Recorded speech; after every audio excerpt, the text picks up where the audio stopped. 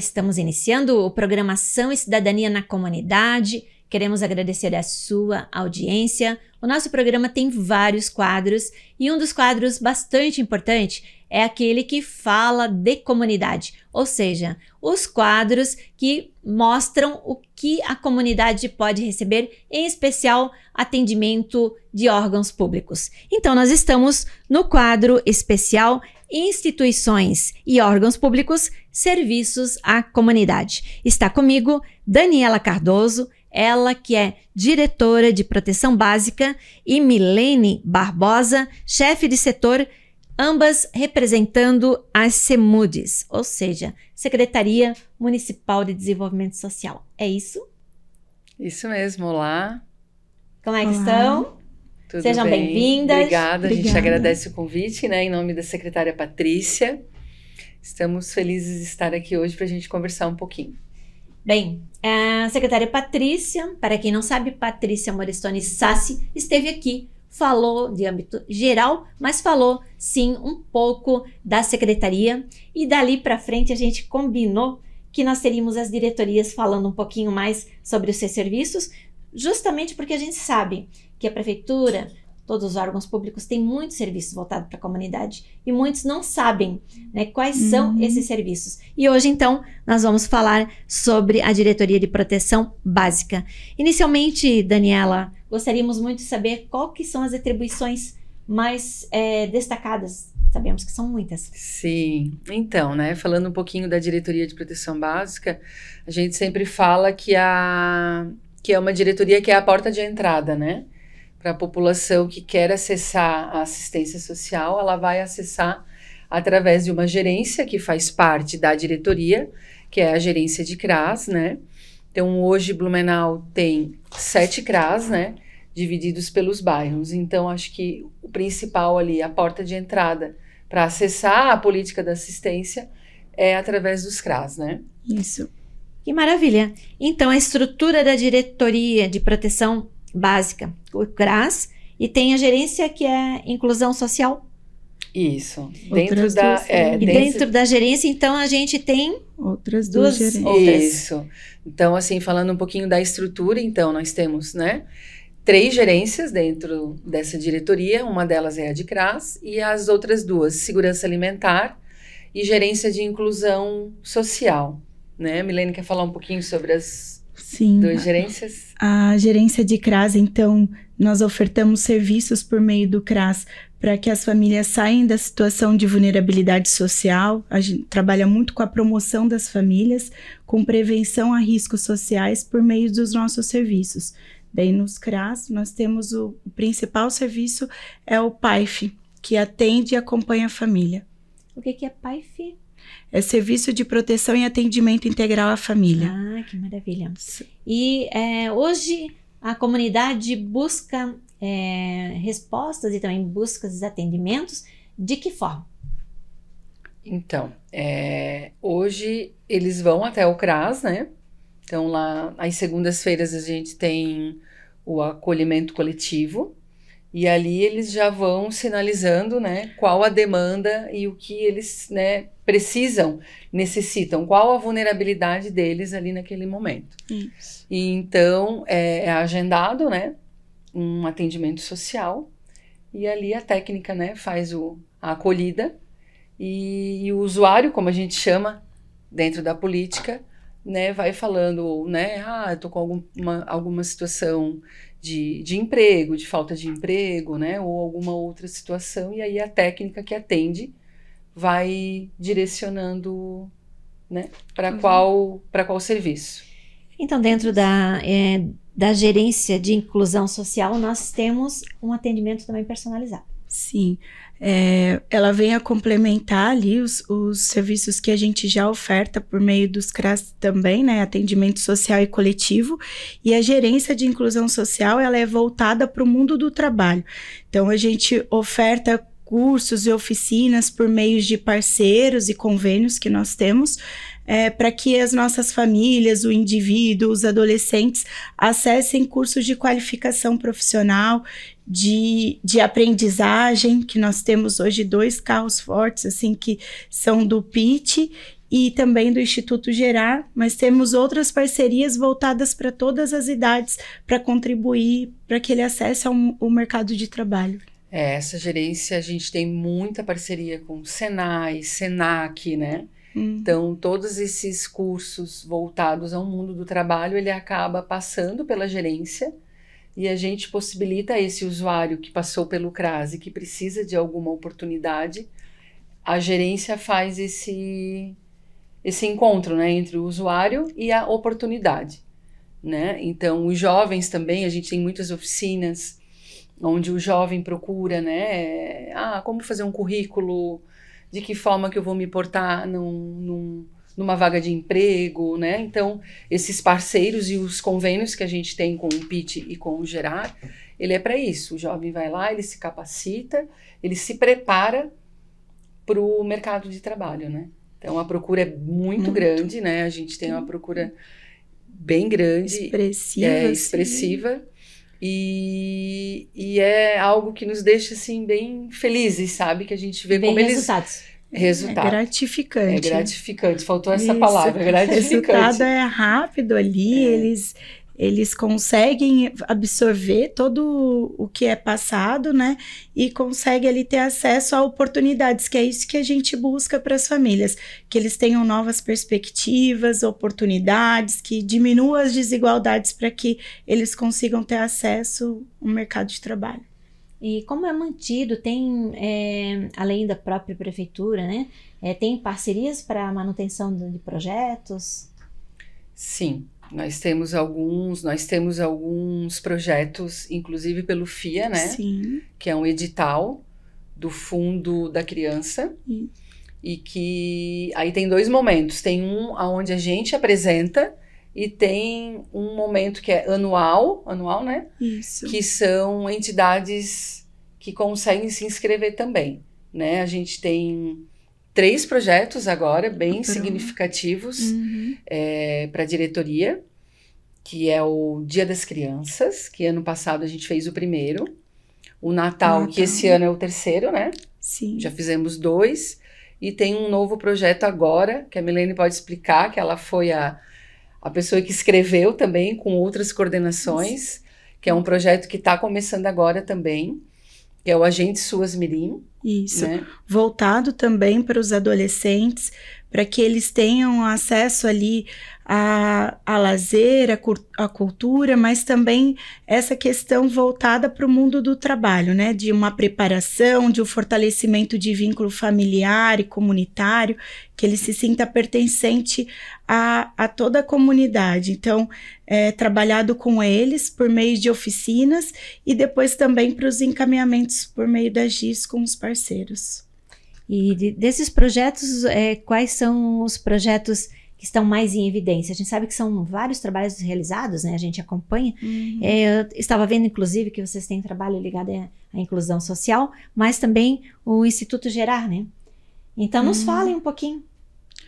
O Instituto Gerar, ele é um dos parceiros da Gerência de Inclusão Social e ele também vem para oportunizar o adolescente o acesso ao mundo do, do, do, trabalho. Então, é uma preparação. Eles aprendem sobre hierarquia, sobre entrevistas, sobre essa questão de disciplina. Horário, horário. né? horário.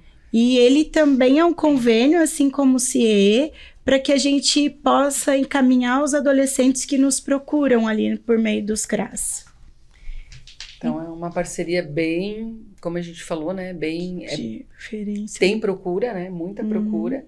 E hoje, assim, é referência ali. Nossa, acho que é muito interessante. O jovem até que não se inscreveu, procure o CRAS, né? Tem muitas Sim. pessoas que não sabem ainda, né? Uhum. Qual é o caminho, como se diz. Isso, o CRAS é sempre a porta de entrada, né? Uhum. O CRAS do seu bairro, procura ali. Hoje tem quantos CRAS? Sete, Sete. CRAS. Sete CRAS. Bastante digamos assim, tem bastante disponibilidade, né? Isso, nós é, temos sete CRAS e dois deles, o da velha, que é o da água verde, né, que a gente chama.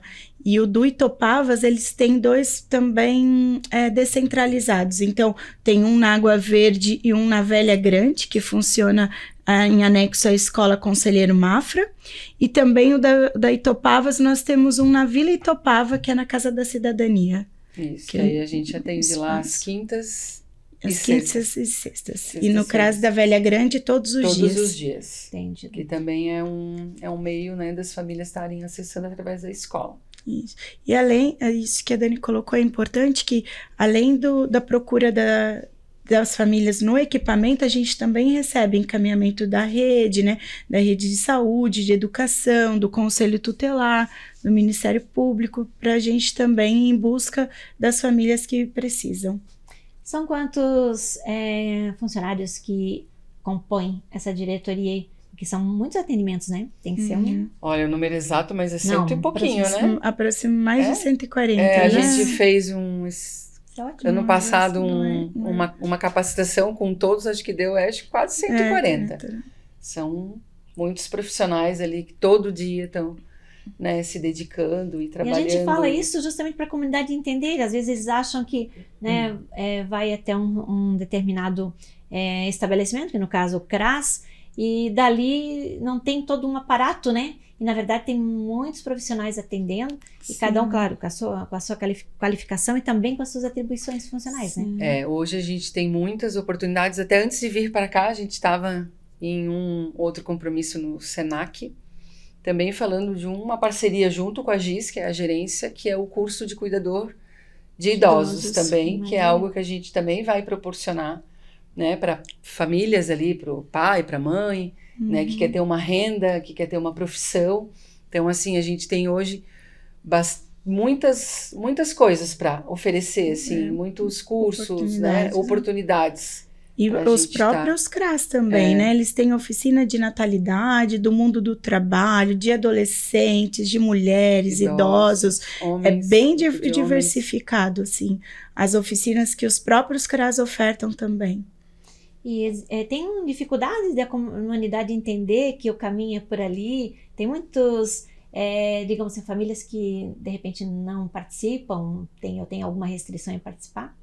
Vocês perceberam isso? Das momento? oficinas? Não, ou... no, de nos programas como um todo. Não, acho que não. Acho que Não, quando a pessoa aceitável. é. É, alguns fatores, assim, mas não, não tem al- algo de modo geral. Tem a questões para serem trabalhadas, barreiras para serem enfrentadas, e todas essas equipes da diretoria estão capacitadas para poder contribuir e fazer com que a família tenha adesão aos encaminhamentos. E sobre a gerência de segurança alimentar e nutricional? Nos fala um pouco. Então, é acho- interessante esse tema. né? É, Sim. a gerência de segurança alimentar, ela fica ali na diretoria, né? As três gerências ficam ali. Nós temos dessa gerência o banco de alimentos, né? Uhum. Então, a, a segurança alimentar, ela também proporciona esses momentos com os usuários, né, que estão no CRAS, né? E ali eles levam também temáticas, né, para que fala, que traz, né, é, o alimento em si, mas não o alimento, não é o prato de comida em si, é um alimento como um todo, né, trazendo possibilidades mais saudáveis, é, trazendo lembranças da infância, né? Ele traz um significado para além do prato da comida, não, né? Então, também é um trabalho né? Sim. muito bacana, é um trabalho, são oficinas que são procuradas bastante, né? Que Ah, os usuários quando participam, eles gostam gostam, bastante. querem mais, se identificam. Que o alimento traz isso, né? Ele une, né? Muito, né? Quando a gente fala sobre alimentação, é, é algo. Ah, eu tenho uma receita da minha avó, o meu tio fazia assim, então cada um traz um pouquinho, mas a gente traz essa parte do alimento dentro da política da assistência social, não voltado à parte nutricional, saúde, né? é. de saúde. É né? para que eles, as nossas famílias também tenham boas escolhas, para que elas tenham informação de um alimento saudável, de o- do que escolher e como a Dani trouxe também dessas questões afetivas ali que a comida nos traz, então de fortalecer eles por meio dessas ações é bem interessante. Inclusive nós temos nutricionistas na equipe, então as famílias têm acesso a Nutri, tiram as suas dúvidas, trazem as suas demandas e é tudo planejado conforme para os adolescentes, para as crianças, para os adultos, conforme o nosso público ali. Elas são bem criativas nas metodologias. É, eles falam também sobre reaproveitamento, né? Às vezes a, a família lá, ah, uma abóbora, o que, que a gente consegue fazer tudo com uma abóbora, né? A gente faz a geleia, a gente pode fazer o purê de abóbora, a semente a gente faz os chips com a semente, a casca a gente pode também fazer um chips, a gente pode, né? Uhum. Então elas trazem várias é, possibilidades, né, para a família. E às vezes a família ela não tem acesso, né? E aí através dessas oficinas e através da segurança alimentar que o usuário acaba tendo tendo acesso.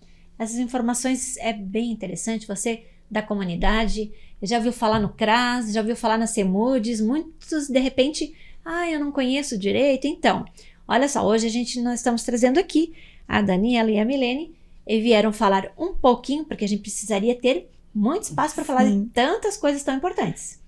Tanto é que estão convocadas, não estão nem convidadas, convocadas a vir uhum. uma outra oportunidade e a gente miuçar um pouco mais cada uma das atividades. Hoje a gente está fazendo mais assim um guarda-chuva, tipo, né, um panorama geral, para que as uhum. pessoas saibam, né, que a gente tem o interesse de trazer aí a informação e a gente aproveita para perguntar é, qual que é o carro-chefe de atendimento dentro dessa diretoria, ou pode citar mais que um se for o caso?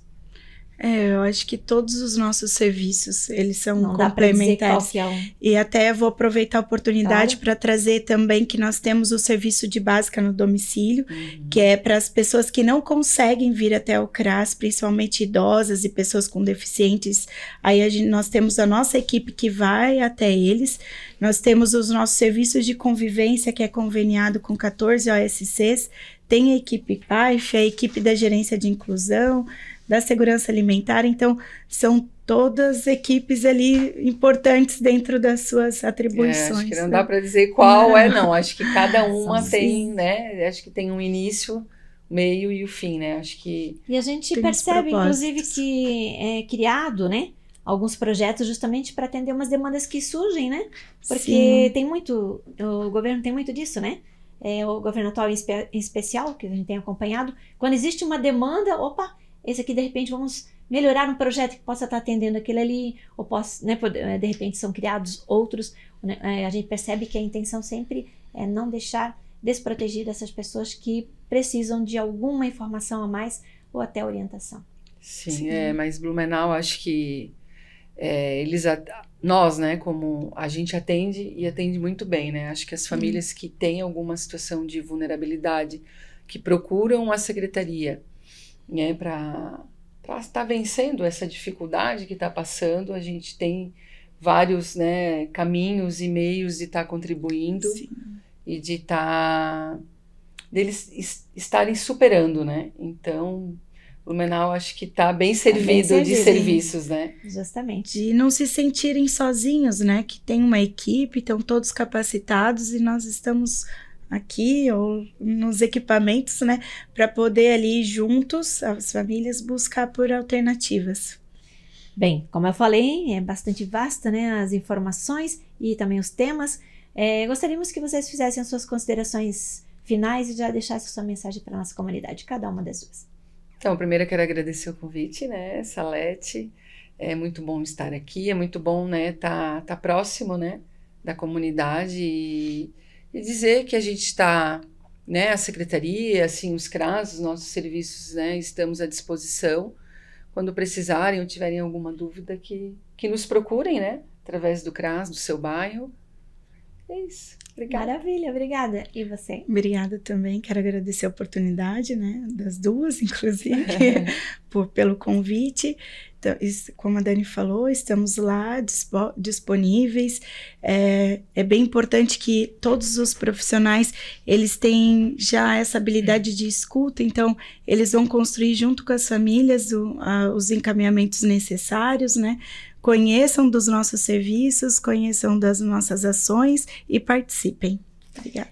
Parabéns para vocês né, que estão lá dentro da Semudes há mais de 10 anos, né? Você já tem uma experiência vasta experiência, né? E com certeza estão representando todos os funcionários lá, mas a gente deixa assim o espaço para que vocês possam estar vindo trazer alguns temas mais específicos para que a comunidade conheça cada vez mais aí o trabalho de vocês e o que, ah, no caso, o governo oferece. Obrigada, Muito obrigada mais uma vez. Obrigada. obrigada. E você que está nos acompanhando, fica aí, não sai daí, porque a gente tem aí os quadros, né? Inclusive no final do programa também a mensagem do dia.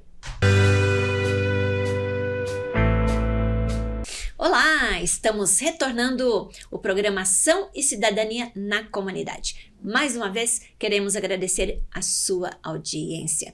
Você que nos acompanha toda semana, que Prestigie o nosso programa, os nossos quadros. Tem um quadro especial Mulheres e tem um quadro especial que são as associações e também os clubes de Cacitiro. E hoje nós estamos com uma representante da Associação dos Clubes é, Culturais e Esportivos de Blumenau, ela que compõe a realeza, que foi eleita no dia 22, está comigo aqui Darlene Maria Pellens. Olá! Olá, tudo bem, Salete? Muito obrigada por estar aqui conosco, representando as realezas, né? Você que é a segunda princesa. Sim. Muito bonita, parabéns. Obrigada, obrigada. Nós tivemos é, a oportunidade de compor os jurados, né? Inclusive, Sim presidimos a mesa uhum. e a gente viu o quanto o trabalho bonito que vocês fizeram e as suas apresentações. Mas ali do nosso programa, você que está nos acompanhando, você que é liderança comunitária, é importante você conhecer os mais variados segmentos. E aqui a gente traz também sobre a, a valorização das associações, em especial aqui também dos clubes e sociedades. E hoje, então, é, falando com Darlene, que representa. Qual é? É o clube que você representa? Meu clube é o clube do Passo Manso. Passo Manso. Isso. Queremos conhecer um pouquinho Darlene. Fala um pouquinho de você, do seu perfil é, profissional e também, claro, pessoal. Sim. Então, meu nome é Darlene, né? Tenho 41 anos, 40 anos. 41 só final do ano, em novembro. E tenho dois filhos e, e represento o Passo Manso, como já falei. Eu trabalho na área têxtil, uma área que, né, é, o polo é aqui em Blumenau, né? Gosto muito dessa área, da área têxtil, e represento com muito carinho, né, a segunda vez, a realeza dos Castilhos, com muito amor no coração, né? Porque para estar tá nesse lugar tem que ter bastante amor, bastante compromisso e é isso que eu mais tenho para oferecer. Então, é, você é natural daqui? Sou, sou de Blumenau. Uhum. Nascida e criada, nunca me mudei para outra cidade, sempre aqui. E o mais maravilhoso é que eu acompanhei também quando você se elegeu a segunda princesa da vez passada. Ah, é? agora legal. de novo, fez uhum. um trabalho maravilhoso junto Isso. com as realezas uhum. e agora compondo, né? Junto com Camila e e a Eduarda, Maria, Maria Eduarda. Eduarda, né? Isso. Então, elas também estarão aqui no nosso programa. Vai ter um momento Sim. que nós estaremos juntas, né? Sim, em três, outros né? locais. Uhum. Mas a nossa intenção é valorizar a participação da mulher e uhum. valorizar também a associação dos clubes culturais e esportivos, e, em especial valorizar a cultura germânica. Isso mesmo. Então nós queremos saber um pouquinho mais como é que é para você, né, participar desse concurso e agora, quais são as atribuições que você tem como segunda princesa? Sim, então nós temos vários compromissos dentro desse desse mandato, né? Estamos com a agenda bem apertadinha, bastante eventos, tanto nos clubes quanto em museus de Blumenau. A gente vai estar tá passeando bastante, visitando, fazendo campanhas, levando essa tradição germânica por Blumenau todo, né? O, os clubes hoje estão numa situação um pouquinho defasada, né? O, a, a, juventude não, não quer mais se aproximar do, do, do, do clube, né? Mas a gente está aí para buscar essa juventude, para agregar eles ao nosso clube, a todos os clubes, né? Que somos, somos em 38 clubes em Blumenau associados, né? Então, tem toda essa cultura, essa participação, essa confraternização nos clubes que é tão bonita e trazer essa juventude para nós, né? E, as, e os eventos tradicionais, né? Sim, temos os bailes, os bailes de reis, temos as festas do, do colono, que foi dois eventos já que participamos depois da eleição, dois bailes do colono, dois na Itopavazinha, um lá quase já em divisa com Pomerode, no Itopavazinha não, desculpa, na Vila Itopava. E foi, é muito bacana, o povo é muito acolhedor, né? Aquela, a, as verduras pendurada em cima do salão. A gente não chega a ficar até a colheita, mas o desejo era para ver como funciona aquilo ali, o povo querendo colher o que a comunidade traz, né? Aquilo é muito bacana. O acolhimento do povo é muito bom. Vamos falar um pouquinho então é, do evento propriamente dito, né? Do Uhum, concurso. sim. Inclusive, a gente vai colocar algumas fotos, algumas imagens, você entrando no salão. Sim. Tudo isso a gente vai colocar conforme você vai falando. Como é que foi essa sensação, né? De fazer parte. Foram seis candidatas. Se- Seis candidatas, isso. aham. Isso. E aí teve uma apresentação, Teve. né? Como é que foi pra você? No dia do evento, como segunda vez, todos pensam assim: ah, a Darlene já tá acostumada, né? Já tá de boa, mas não, tá? Foi muito nervosismo. Eu, eu fiquei muito nervosa. Tanto porque, provavelmente porque eu já sabia como ia acontecer, né? Quando a gente entra na- no palco, no desfile, aquela aclamação do povo, a tua família, tu vê os teus amigos participando contigo, aquilo é uma emoção total, o coração vai a mil, né? Eu lá dentro, no bastidor, lá no camarim, eu já fiquei bem, bem nervosa. Eu dizia para as meninas: vocês não vão em consideração a mim porque eu tô muito nervosa. Ficam aí na tranquilidade de vocês, né? Creio que todas tinham um teor de nervosismo, mas creio que era que nem aquele meu do primeiro evento, né? Um pouquinho mais tranquilo, porque eu tava bem nervosa. Mas aí faz o desfile do traje social, depois faz o desfile do traje típico, né? E a dança muito linda, né? Eu gosto, eu gosto muito de dança. Então a dança para mim é a parte favorita. E depois o grande discurso, né? O grande discurso é o que é o mais importante ali na hora, que é o que vai te levar mesmo os maiores pontos para ser eleita a realeza, né?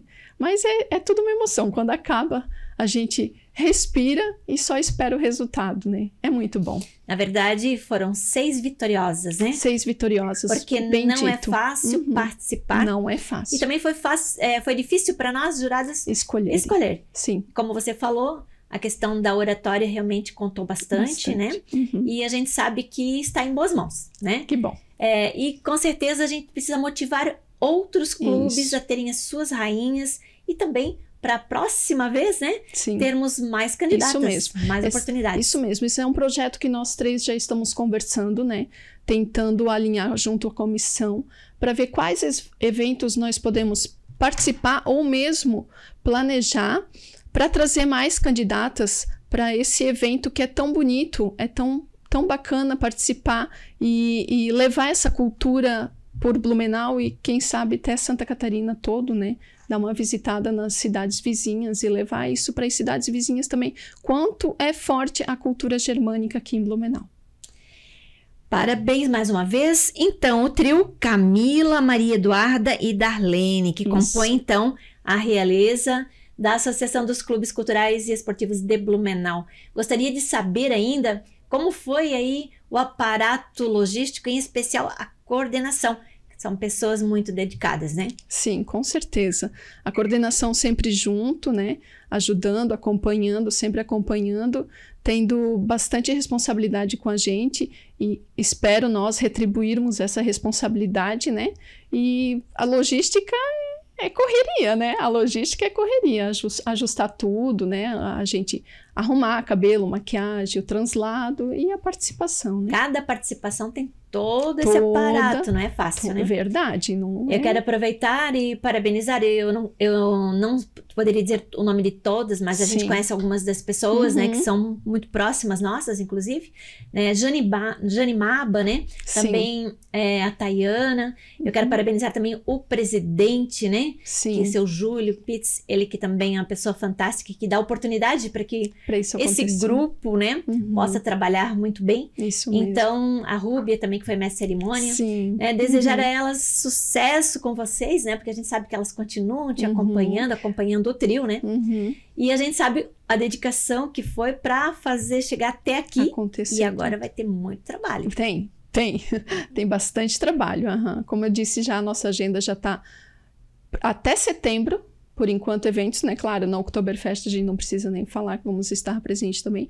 Mas por enquanto, até setembro, a gente já tem evento programado. Até porque depois na Oktoberfest tem os desfiles. Tudo, a gente participa de todos os desfiles. Isso quando não for convidada também para outras cidades que também têm as suas festas. Sim, claro, é, tem tudo isso. aham. Então, parabéns, sucesso. E a gente quer que você deixe aqui a sua mensagem para as pessoas participarem dos clubes. Isso. e motivar aí outras jovens, né, também estarem juntos aí para que nos próximos anos a gente tenha cada vez mais participantes. Então tá.